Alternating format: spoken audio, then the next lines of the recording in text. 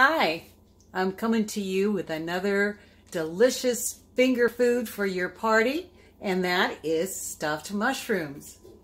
So here in this pot I had simmering uh, chopped onion and bell pepper, garlic, and mushroom stems that I popped off um, of each of the mushroom, mushrooms that I have.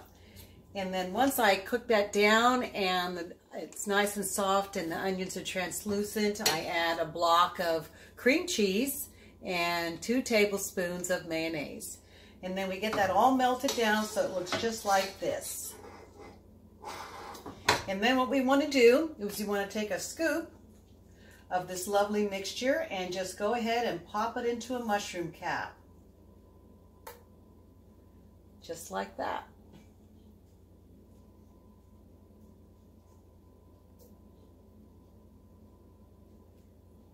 Now I'm going to go ahead and get the rest of these filled up. And here are the lovely mushroom caps all filled up. And as you can see, there's something else there. What I've done is I've um, dusted the tops of these with lightly buttered almond flour and Parmesan cheese. Don't they look amazing?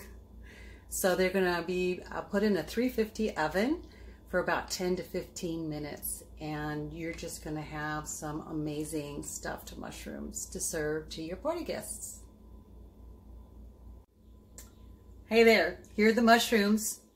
Mmm, they look absolutely amazing and I can't wait to try one.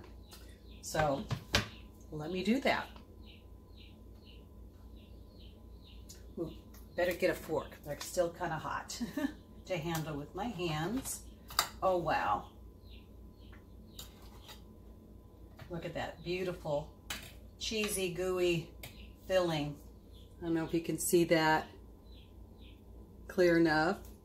I don't have my glasses on, so everything looks blurry to me right now. Anyways, I'm going to give it a try. Mmm. Oh my gosh. Mmm. Mmm. That smoky flavor of the mushrooms and the cream cheese and the bell peppers. Oh, absolutely. Mwah.